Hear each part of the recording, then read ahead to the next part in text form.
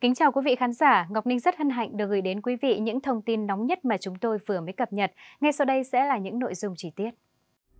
Theo thông tin từ Vietnamnet, trong vụ chuyến bay giải cứu có 21 trên 54 bị cáo bị truy tố về tội nhận hối lộ. Quá trình điều tra, truy tố và phần thẩm vấn công khai tại phiên tòa xác định các bị cáo đã có hành vi nhận tiền của đại diện các doanh nghiệp để đề xuất, trình duyệt, duyệt phát hành công văn để cấp phép các chuyến bay đưa công dân về nước. Trong phần thẩm vấn, có một số bị cáo lập lờ đánh lận con đen cho rằng hành vi nhận tiền của mình là do các doanh nghiệp cảm ơn. Nhưng đại diện Viện Kiểm sát cho rằng đây là việc đánh tráo khái niệm cực kỳ nguy hiểm, có thể gây ra tiền lệ xấu cho xã hội. Do vậy, cần phải nhận thức cho đúng để loại bỏ văn hóa phong bì ra khỏi đời sống xã hội. Đại diện Viện Kiểm sát cho rằng các bị cáo đang làm công việc thuộc chức trách nhiệm vụ của mình nên không thể coi là cảm ơn khi số tiền cảm ơn bằng cả một gia tài mà nhiều người mơ ước cũng không thể coi là cảm ơn khi người đưa buộc phải đưa và đặc biệt không thể coi việc các bị cáo nhận một số tiền đặc biệt lớn cho cá nhân mình trong bối cảnh người dân và doanh nghiệp cả nước chắc chiêu quyên góp cho quỹ vaccine cho công tác cứu trợ nhằm phòng chống dịch. Đại diện Viện Kiểm sát chỉ ra thủ đoạn phạm tội của các bị cáo được thể hiện dưới hai dạng chính như sau. Thứ nhất, các bị cáo nhận hối lộ đưa ra yêu cầu, thỏa thuận, mặc cả về giá, buộc các doanh nghiệp phải đưa tiền. Thứ hai, người có thẩm quyền trong việc thẩm định, đề xuất, duyệt cấp phép các chuyến bay có hành vi gây khó khăn, dẫn đến các doanh nghiệp phải chi tiền theo luật bất thành văn thì mới được cấp phép thực hiện chuyến bay. Báo Tiền Phong đưa tin, trong phần tự bào chữa tại phiên tòa chiều 19 tháng 7, bị cáo Lê Hồng Sơn, tổng giám đốc công ty Blue Sky nói rằng rất sốc với mức án bị đề nghị từ 11 đến 12 năm tù. Bị cáo Sơn thừa nhận hành vi tội danh đưa hối lộ bị truy tố, tuy nhiên bị cáo này cho rằng doanh nghiệp là nạn nhân của văn hóa phong bì, không chỉ bị cáo Sơn, trước đó khi trả lời xét hỏi của hội đồng xét xử về việc xin cấp giấy phép thực hiện các chuyến bay, nhóm bị cáo đại diện cho các doanh nghiệp cho biết họ bị làm khó. Nếu không chi tiền cho Cục lãnh sự và cựu cán bộ thuộc tổ công tác của Nam Bộ sẽ bị gạt hồ sơ. Điển hình bị cáo Đào Minh Dương,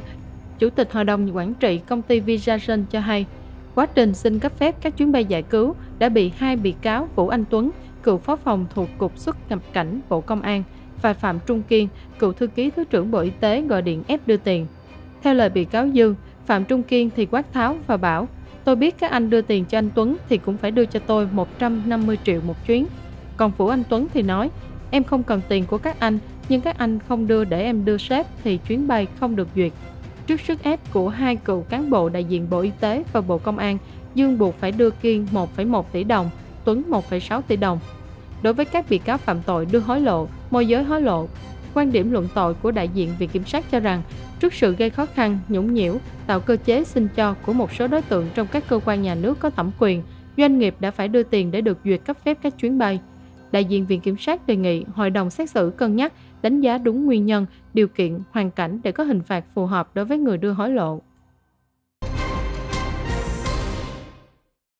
Theo thông tin từ báo Tiền Phong, ở chiều ngược lại, nhóm bị cáo là cựu quan chức bị xét xử về tội nhận hối lộ đều một mực phủ nhận việc đưa ra yêu cầu và cho rằng doanh nghiệp tự nguyện cảm ơn. Trước việc bị cáo Vũ Hồng Nam, cựu đại sứ đặc mệnh toàn quyền Việt Nam tại Nhật Bản, bị đề nghị mức án 4 đến 5 năm tù về tội nhận hối lộ, luật sư bào chữa cho rằng có lỗi rất lớn từ doanh nghiệp. Luật sư dẫn chứng, cả hai buổi ông Nam gặp và nhận tiền diễn ra cùng mô tuyết, liên tục gọi điện nhắn tin xin gặp với đủ các lý do, còn ông Nam liên tục khước từ. Trong hai buổi gặp, Lê Văn Nghĩa, giám đốc công ty Nhật Minh, đều để lại túi quà rồi nhanh chóng rời đi, nói là quà chứ không phải tiền. Ông Nam chỉ biết có tiền sau khi Nghĩa ra về. Như vậy, việc nhận tiền của bị cáo Nam có lỗi lớn từ sự chủ động áp sát, nài ép từ phía doanh nghiệp. Về phía mình, bị cáo Nam cũng có lỗi là không cưỡng lại sự cám dỗ. Luật sư cho rằng nhận thức đơn giản của ông Nam là doanh nghiệp tổ chức chuyến bay xong, có lãi thì cảm ơn. Tương tự khi nêu quan điểm bào chữa cho bị cáo Tô Anh Dũng, luật sư Lê Thành Kính cho rằng ông Dũng không thỏa thuận với doanh nghiệp, không đưa ra yêu cầu điều kiện, không đòi hỏi hoặc gây khó dễ trong việc cấp phép chuyến bay. Sau khi chuyến bay được phê duyệt, doanh nghiệp mới xin gặp nói là để báo cáo kết quả thực hiện. Khai tại tòa, bị cáo Hoàng Diệu Mơ, tổng giám đốc công ty An Bình cho biết, lúc đưa tiền, cựu thứ trưởng Tô Anh Dũng dù miệng nói lần sau không được đưa anh nữa, song quá trình xin cấp phép các chuyến bay, Mơ tiếp tục có 7 lần đưa hối lộ và ông Dũng cũng không từ chối. Khi vụ án được khởi tố, theo luật sư, ông Dũng đã nhận thức sâu sắc rằng mình là công chức, dù nhận bất kỳ khoản cảm ơn nào cũng là vi phạm. Một quan chức khác là bị cáo Chữ Xuân Dũng, cựu phó chủ tịch Ủy ban nhân dân thành phố Hà Nội đã nói tại phiên tòa, Nếu không phải là người quen gửi quà cảm ơn thì chắc chắn tôi đã không phải đứng trước phiên tòa này.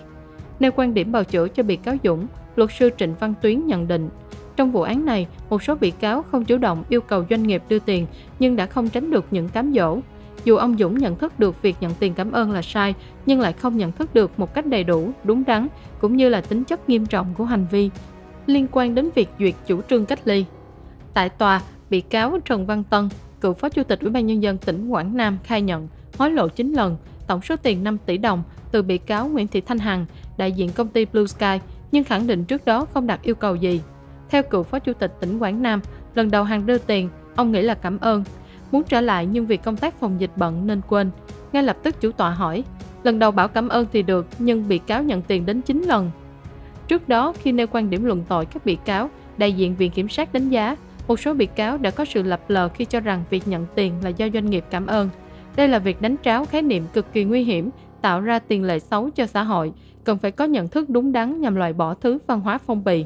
Đại diện Viện Kiểm sát lập luận, các bị cáo đang làm nhiệm vụ của mình, không thể có chuyện doanh nghiệp cảm ơn số tiền bằng cải gia tài mà nhiều người mơ ước, hoặc buộc người đưa phải chi tiền. Chưa kể số tiền mà các bị cáo nhận là đặc biệt lớn, trong khi đảng, nhà nước và người dân đang chắc chiêu từng đồng để mua sắm vaccine chống dịch. Về thủ đoạn phạm tội của nhóm bị cáo, đại diện Viện Kiểm sát cho biết có hai dạng. Thứ nhất là đưa ra yêu cầu, thỏa thuận, mặc cả về giá, buộc doanh nghiệp đưa tiền. Thứ hai là gây khó khăn trong quá trình thẩm định, xét duyệt, dẫn tới luật bất thành văn rằng doanh nghiệp phải chi tiền thì mới được cấp phép. Đại diện Viện Kiểm sát nhấn mạnh, việc đưa vụ án ra xét xử nhằm đảm bảo sự phòng ngừa chung trong xã hội, đồng thời tạo tính răng đe, giáo dục đối với các bị cáo,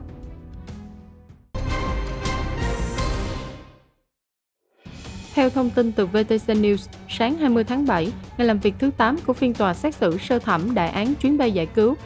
các luật sư tiếp tục bào chữa cho hành vi phạm tội của các bị cáo. Sau khi trình bày hàng loạt sự đóng góp đối với xã hội của công ty lữ hành Việt nói chung, thân chủ của mình nói riêng trong thời điểm dịch Covid-19, luật sư Nguyễn Khánh Toàn nhấn mạnh hoàn cảnh của gia đình Nguyễn Tiến Mạnh và Vũ Thùy Dương đặc biệt éo le. Bị cáo Mạnh và bị cáo Dương đang sống với nhau trên danh nghĩa vợ chồng, hôm nay lại cùng đứng ở vành móng ngựa, Điều này quá xót xa và đau lòng, vị luật sư nói. Luật sư Nguyễn Khánh Toàn giải thích thêm, trên thực tế, bị cáo Mạnh và bị cáo Dương sống với nhau đã có con chung nhưng chưa đăng ký kết hôn.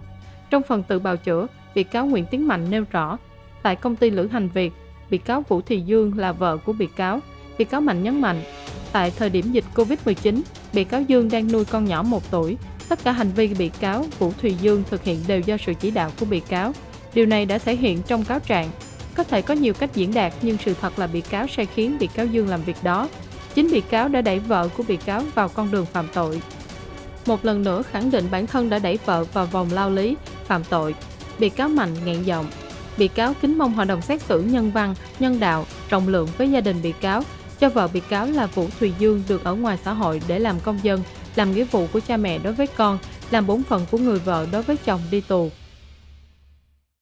Những thông tin vừa rồi cũng đã khép lại chương trình của chúng tôi. Cảm ơn các bạn đã quan tâm theo dõi và đừng quên chúng tôi luôn cập nhật rất nhiều thông tin bổ ích với tất cả các khung giờ trong ngày. Xin kính chào và hẹn gặp lại.